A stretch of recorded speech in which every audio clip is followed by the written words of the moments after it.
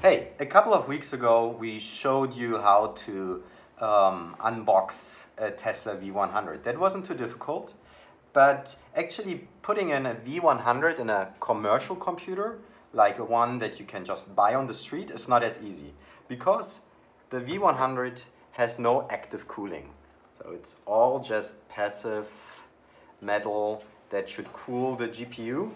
And um, we actually took out the V100 recently and wanted to do an how to retrofit a V100 cooled and put it into a normal computer. All that you need is actually, as a basis, a fan. This is a PC um, slot fan. Um, you need a power adapter for the V100. You need a hacksaw, some scissors, this one, and some isolation tape. Um, you can do it in generally, I think in 10 minutes if you want to do it like more fancy, maybe a half an hour. Pretty simple. So what you want to do is you take the fan and you actually take off the blind from it and you do two things. First, you cut out um, three of those pieces, actually four. So from the notch that is actually longer, um, the third, fourth, fifth, and sixth. And just make sure that it's on the lower part. When you took it out, actually the most easiest thing is not to use the hacksaw, but actually just wiggle left and right um, and until they get loose, and then you actually have something like this.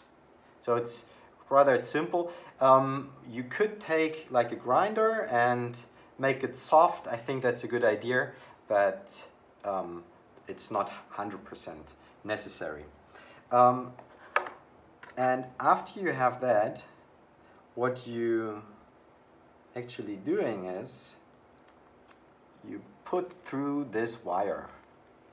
Reason being, just to show you very quick, uh, here's the power connector, and as you might assume, we attach it like this, so you need to get the power out.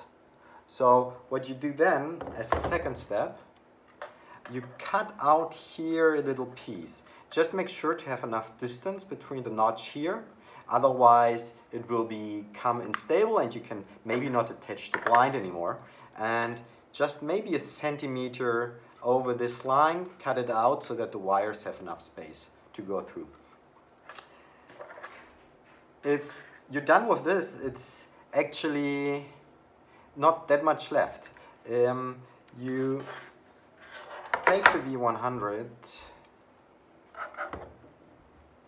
um, put in the connectors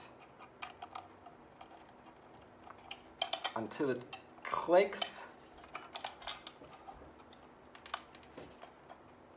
Really make sure that you hear the click because um, the construction, um, as soon as you close it, you don't see that well anymore um, the connector, or you don't see it at all actually.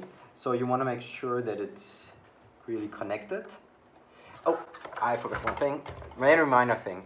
Uh, bend this part of the PCI uh, blind um, towards the towards the center and bend it like until you have like a bit of pressure. Don't do it too much, otherwise you're gonna scratch the V100. But when you attach it, that you have on this side a bit of pressure that will already keep actually the fan a bit in place. It, yes, and then you just see that you get this um, blind onto the V100 and there we, you go. You already have the blind connected, you have the, the power connector still in and then there are two steps left. One is of course, connect the fan. So also here, just make sure that the wire is, stays in place and it doesn't disconnect. And then you see, it's actually, oh. So the, the only um, issue is, or the only little challenging part is that the wires are a bit bent here.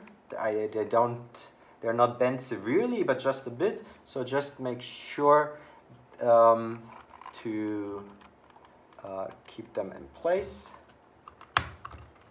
Okay. Actually, at this point, they cannot break anything unless you maybe are too hard on the GPU and you bend the connectors, what you don't want to do, but yeah. That's it.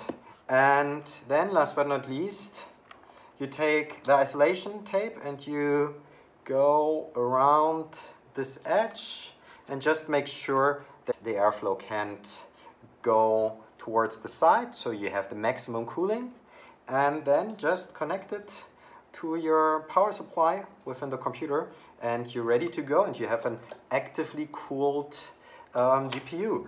Um, of course, I need to say this for liability reason. If you do this, you do it on your own risk. Um, it is working for us, but um, it's your own liability. All right, this is the how-to and have fun with whatever you do with it, mining or in our case, deep learning.